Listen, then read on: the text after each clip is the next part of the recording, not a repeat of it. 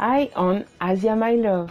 I wanted to talk about the eternal love, the this Chinese drama or Taiwanese drama because I think it's Taiwanese, but some people write Chinese on YouTube.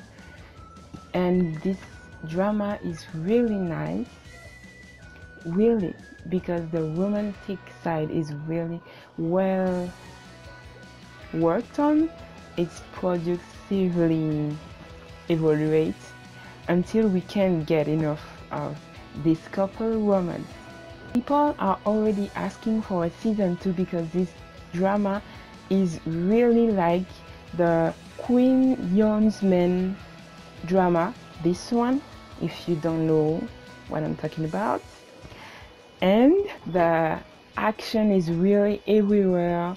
Uh, murder attempt, things like this in this historical drama is really interesting. It brings you inside and you watch episode episodes in the same night.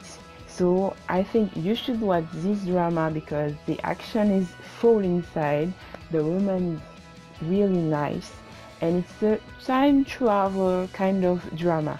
So watch the Eternal Love and if you like this video click on like if you want some video like this one, subscribe on Asia My Love and I will see you soon. Bye bye.